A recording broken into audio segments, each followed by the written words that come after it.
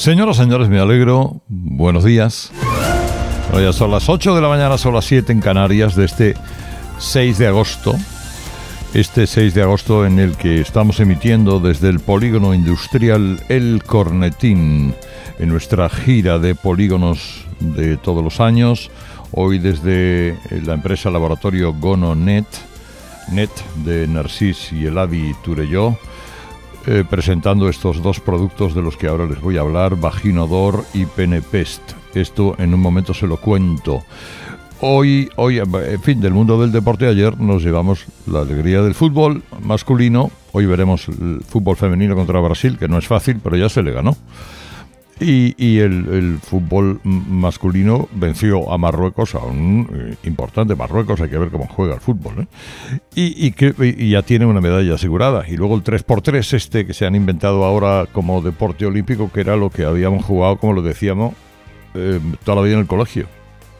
El ataque y gol, en el, campo, el caso del fútbol, y cuando éramos cuatro o seis con una canasta, pues era mm, ataque y gol a la canasta, ataque y canasta. Mm, bueno, pues esto es deporte olímpico y las chicas han conseguido también una medalla de plata, así que enhorabuena. Bueno, la noticia sigue en, Cataluña, sigue en Cataluña porque como les decía Antonio a las seis, Salvadorilla ha vuelto a salvar una pelota de partido, un match ball lo ha salvado porque las eh, juventudes, estos de las juventudes de Esquerra Republicana, que son igual de brutos o más que sus mayores, han decidido que su diputada le dé el voto a Salvadorilla para la investidura y ya tiene los que le hacen falta los 68. Así que vamos a ver, ahora comienza la rueda de contactos, se fija la fecha, eh, y todo esto va a ser eh, enormemente precario, porque miren, estamos prácticamente todos de acuerdo en que ese acuerdo entre Esquerra y el PSC va a ser muy difícil llevarlo a la práctica. Va a ser muy difícil primero porque es plantea dudas constitucionales, segundo porque tiene que ser aprobado en el Parlamento Nacional, tercero porque crea una revolución en el propio Partido Socialista, los que se atrevan, ¿eh? del Partido Socialista.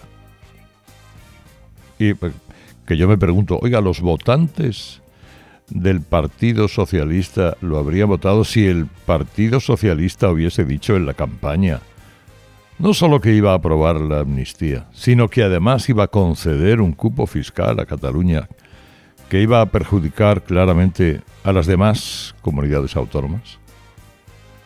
Esa es una buena pregunta que habría que plantearse. Bueno, va a ser una investidura precaria, como la de Sánchez, intervenido por dos partidos por peajes infumables.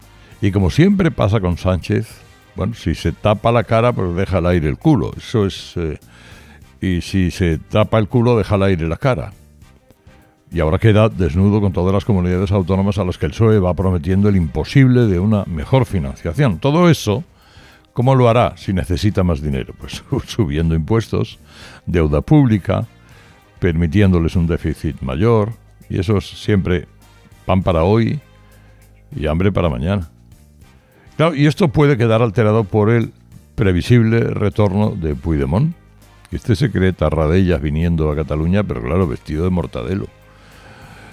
Que, eh, algunos se preguntan, ¿está ya en Cataluña? ¿Cómo va a entrar en el Parlamento? ¿Va a utilizar un pasadizo? ¿Está ya en el Parlamento durmiendo en los retretes? Eh, eh, es, la humillación a Puigdemont en Cataluña tendrá respuesta en el gobierno, en el Congreso de los Diputados. De eso no cabe ninguna duda.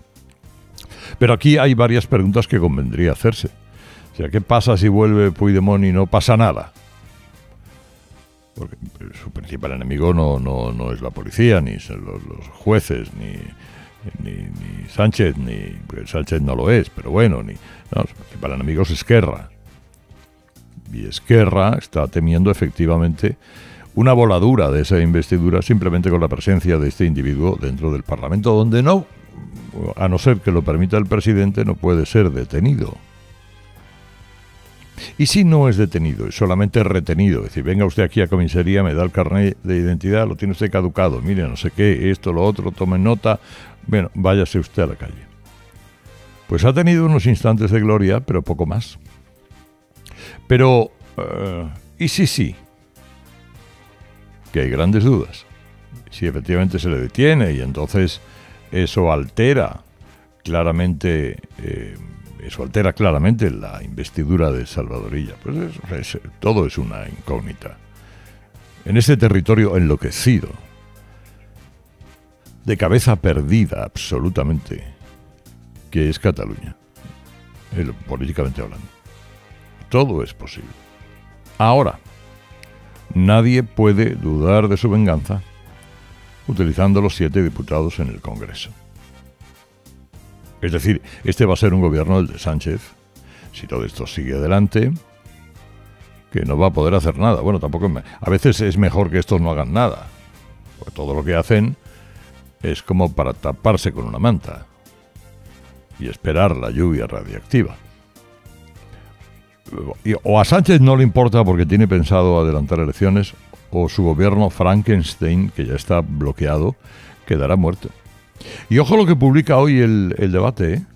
con todos los datos y pruebas. La agencia tributaria ya le ha enviado al juez el informe sobre David Sánchez, el hermano de Pedro Sánchez, y es demoledor, porque este Bon Carajal, enchufado en la Diputación de Badajoz, no ha sido capaz, este hombre no ha sido capaz de explicar el origen de un patrimonio de 1,7 millones de euros y se ha confirmado que tiene residencia fiscal en Portugal, algo que a este gobierno, bueno, puso el grito en el cielo cuando era ferrovial cuando lo hace un youtuber que se va a Andorra cualquier cosa. Pero el hermano, el hermanísimo, no. Pero es otro boquete inmenso en el futuro inmediato de Sánchez. Como Begoña Gómez. Eh. Está investigado por malversación, tráfico de influencias, prevaricación, fraude de hacienda a la seguridad social.